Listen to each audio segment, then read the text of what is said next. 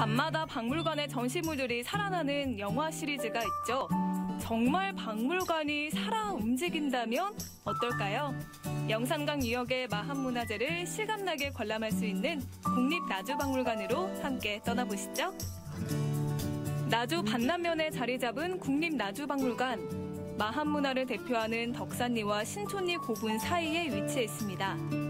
지난 2013년에 개관해 영산강 유역의 마한 문화를 알리고 호남 지역 문화재의 수장고 역할을 하고 있는 전남 유일의 국립박물관입니다. 전시실 안으로 들어가 보니 곳곳에 다양한 모양의 모니터들이 보이는데요.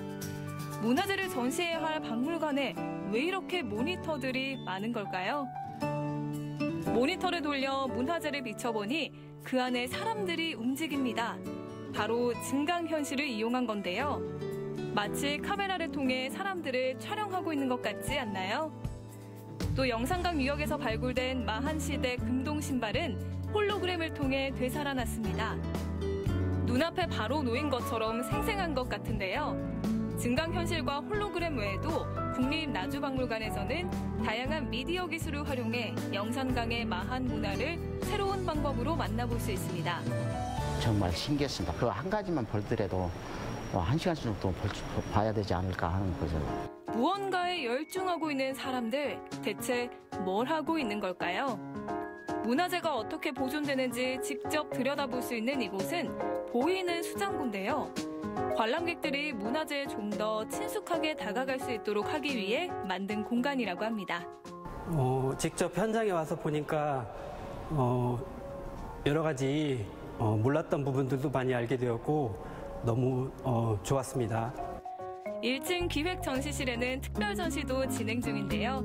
지난 6월 27일부터 사진전, 사진 속 실크로드를 걷다가 진행 중입니다.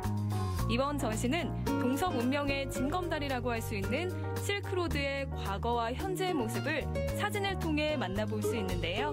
실크로드 지역에서 살고 있는 여러 민족들을 어, 삶의 모습을 소개하는 데 있고요.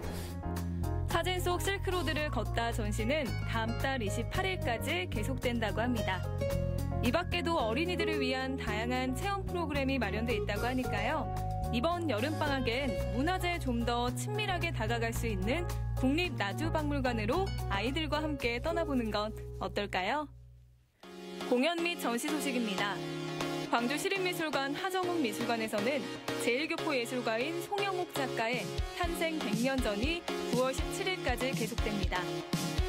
국립아시아문화전당에서는 내일부터 아르헨티나 출신 건축가인 토마스 사라세노의 국내 첫 개인전이 열립니다.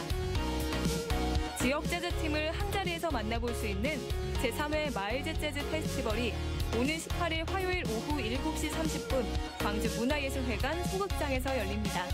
지금까지 위크앤 라이프였습니다.